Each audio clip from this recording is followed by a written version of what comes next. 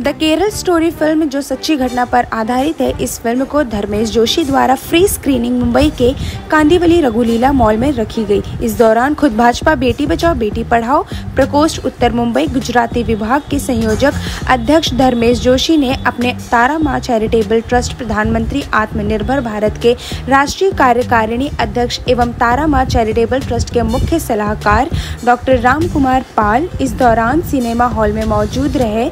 माँ charitable trust की director Annu Akade दीदी के सहयोग से कॉलेज जाने वाली छात्राओं के लिए द केरल स्टोरी फ़िल्म के प्रसारण का कार्यक्रम आयोजित किया। फ़िल्म में दिखाई सच्चाई को देख उपस्थित बेटियों ने जय श्री राम का नारा लगाते हुए यह प्रण लिया कि वे इस फ़िल्म के बारे में अपने मित्रों को भी बताएँगे और उपस्थित छात्राओं ने उनको इस असामाजिक वृत्ति से अवगत कराने के लिए धर्मेश जी एवं उनकी सारी टीम का आभार व्यक्त किया कि आपको इस फ़िल्म की स्क्रीनिंग रखनी चाहिए और आप इस फ़िल्म की स्क्रीनिंग रखी आपने जय जय श्री राम भारत माता की जय।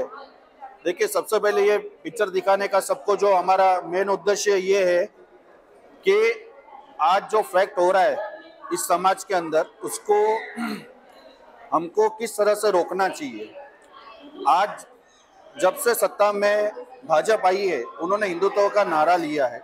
उसका रीजन जागता रीजन आज आपको ये केरला स्टोरी के अंदर आपको दिखाया जाएगा फ़िल्म के हिसाब से दिखाया जाएगा। कुछ चीज़ें इसमें हिडन की है कि पब्लिक को और ठेस ना पहुँचे। मगर इतनी इतनी मूवी जो दिखाई है, उसके अंदर आप, हर एक को मैं अपील करता हूँ कि ये पिक्चर देखनी चाहिए। इसको हमको अपने घर में इम्प्लीमेंट करना चाहिए, अपने आस पड़ोस में इम्प्लीमेंट करना चाहिए। सनातन धर्म क्या है? सबसे पहले तो इसके बारे में आप सोचिए कि आज हमारे पास, हमारे हिंदुत्व में कितने स्पिरिचुअल लीडर्स है जो आपको नॉलेज देते हैं, हर एक चीज़ के, छोटे से छोटी चीज़ का नॉलेज देते हैं। देखिए, जब से मोदी साहब आए हैं, तब से यही बोल रहे हैं कि ये एजेंडा ही गलत है। मोदी साहब हर एक जो काम करते हैं, वो गलत ही है। विपक्ष में बैठ के लोग क्या करेंगे? उनके पास काम क्या है? डेवलपमेंट तो मोदी साहब कर रहे सनातन धर्म को जो आगे बढ़ा रहे वो मोदी साहब कर रहे हर एक जगह पे अपनी सत्ता है, भाजपा की सत्ता है। तो उसके अंदर उनके पास कुछ काम नहीं बचा, सिवाय घोटाले के अब दिल्ली में देखिए कितना बड़ा घोटाला चल रहा है। कोई पैदल यात्रा कर रहा है, भारत जोड़ो को, भारत जोड़ो यात्रा कर रहा है, क्यों कर रहा है? जब भारत कभी टूटा ही नहीं था तो उसको जोड़ने का काम कौन कर रहा है? कोई बैठ के कोई डिप्टी सीएम कहीं अपने बिहार स्टेट में बैठ के अभद्र भाषण दे रहे, गुजराती ठग है, भाजपा पैसा लेके चली गई तो क्या है? इन लोग के पास काम क्या है? अगर आप डेवलपमेंट करोगे समाज के बीच में, जनता के बीच में उनको अच्छा कार्य करके दोगे तो जैसे भाजपा आती है वैसे आपका भी सत्ता आएगा। आपकी भी खुर्सी आएगी।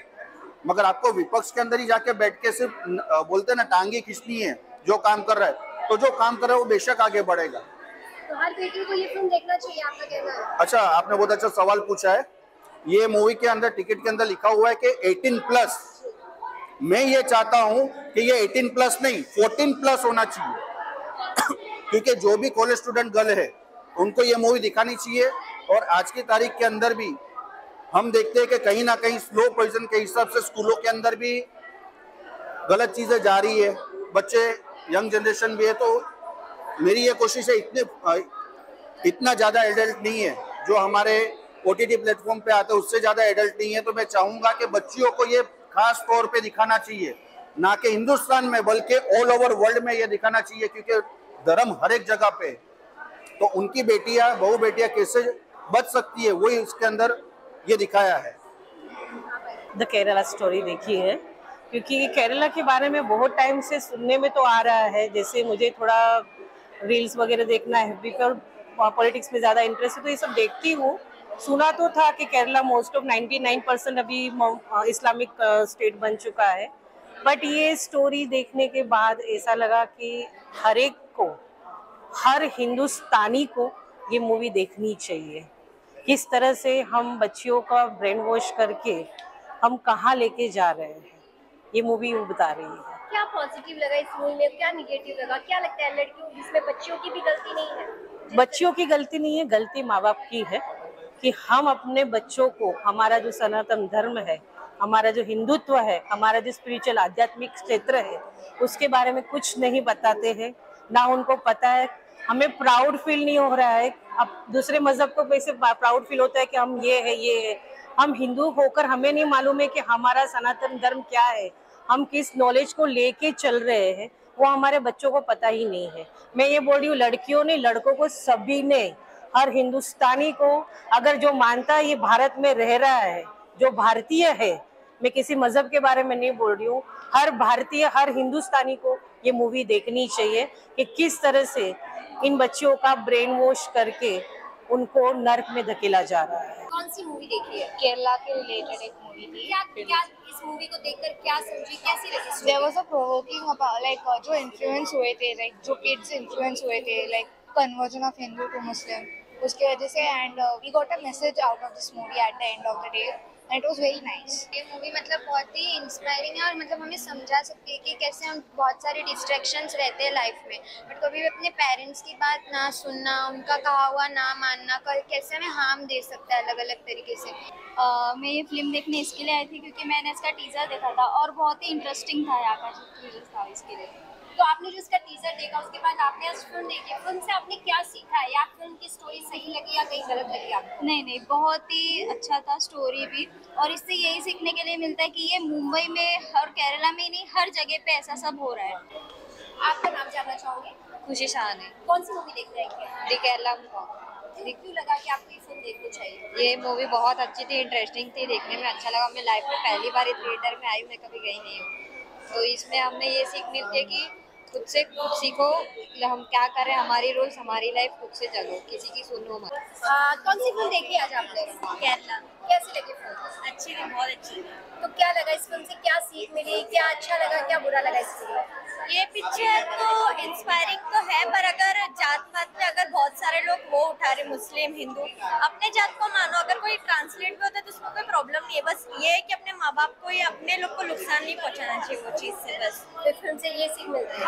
Yes. कितना फाइव आउट ऑफ़ कितना देना चाहेंगे हंड्रेड परसेंट बहुत अच्छी मूवी थी। आज आपने कौन सी फ़िल्म देखी है?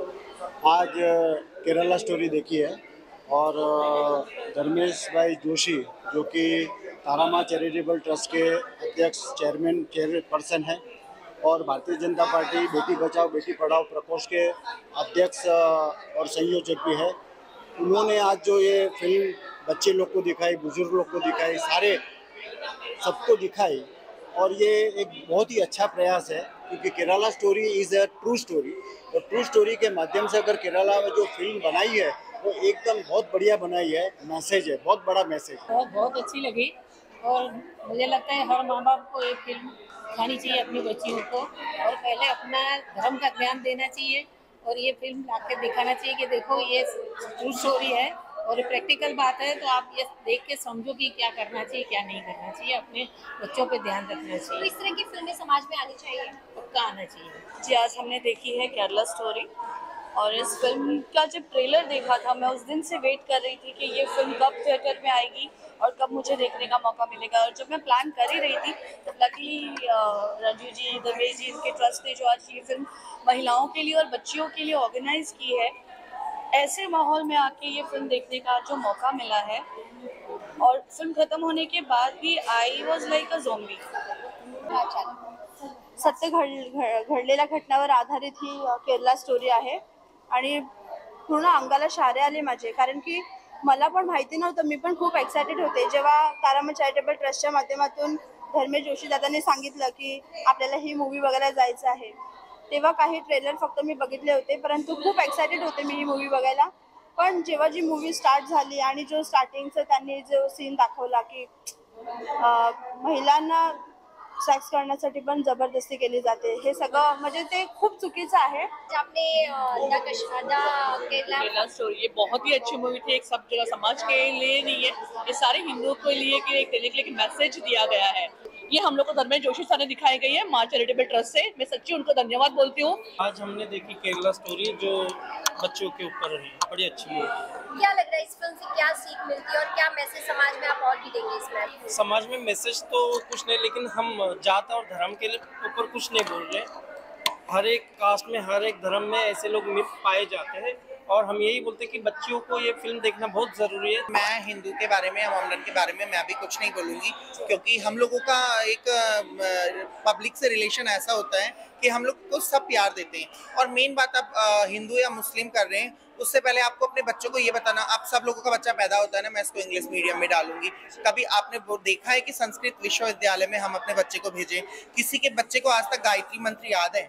किसी के बच्चे को संस्कृत के दो श्लोक याद है, लेकिन good morning mamma good morning papa good night papa ये सब अगर आप अपनी संस्कृत को भूलते जाएँगे तो फिर क्या होगा हमारे इंडिया का? आज, आजकल पता है क्या? कोई एयरपोर्ट के अंदर घुस रहा है, कोई मॉल के अंदर घुस रहा है तो वी स्पीक इंग्लिश जी, अभी हम लोग ये केरला स्टोरी मूवी जो तारामा चैरिटेबल ट्रस्ट की ओर से आज आयोजित की गई, वो देख के निकले हैं। क्या लगी फ़िल्म में? ऐसा क्या खास लगा? और क्या अलग था इस स्टोरी में? फ़िल्म आपको सच्चाई नज़र आई? कुछ बिल्कुल मुझे तो काफ़ी ऑथेंटिक लगी। सबसे पहले तो मैं धन्यवाद देना चाहूँगी बेटी बचाओ बेटी पढ़ाओ के राष्ट्रीय अध्यक्ष श्री धर्मेश जोशी जी को और तारा माँ चैरिटेबल ट्रस्ट के भी जो कि संस्थापक हैं राष्ट्रीय अध्यक्ष है उन्होंने ये स्पेशल स्क्रीनिंग करवाई फॉर द स्कूल गोइंग जो टीनेजर्स होती हैं और कॉलेज की लड़कियों के लिए। जिसमें बहुत सारे बच्चों ने पार्टिसिपेट किया, बहुत सारी गर्ल्स आई हुई आप यहाँ पर देख रहे हैं। जो हमारे देश का एक ज्वलंत मुद्दा है, धर्मांतरण कन्वर्जन ये कन्वर्जन कैसे उनका ब्रेन वॉश करके उनको हिप्नोटाइज करके लड़कियों को किया जाता है वो हमसे ज़्यादा उन बच्चों को समझना ज़रूरी है जो आज घर से निकलती हैं स्कूल जाने के लिए कॉलेज जाने के लिए और छोटी छोटी ज़रूरतों को पूरा करने के लिए वो किसी न किसी ट्रैप में फंस जाती हैं उसके बाद उनका क्या बुरा हाल होता है ये देखने के लिए हम आज यहाँ पर केरला स्टोरी सभी को लाए थे। द केरला स्टोरी कैसी लगी आपको? बहुत अच्छी स्टोरी थी क्योंकि मेरी बहन मेरे से छः साल बड़ी है आई एम एटीन सो सबसे ज़्यादा मैं रिलेट कर पाया था same age like girls are doing this so इसमें से मेरे को जो समझा कि it is not about religion it about humanity और मैं सबसे ज़्यादा इस चीज़ को बोलूँगा कि लड़कियों को मत दिखाओ, ये चीज़ लड़कों को दिखाओ कि सुधर जाओ. It is not about sex every time प्यार करना भी एक ये होता है कि मतलब एक सीन मैंने अभी याद आया मुझे कि उसको ऐसा फील हुआ था कि कुछ तो गलत हो रहा है मेरे से। Take a stand out of it girls को भी बहुत ज़्यादा फॉर्म होना चाहिए अपने डिसीज़न के ऊपर।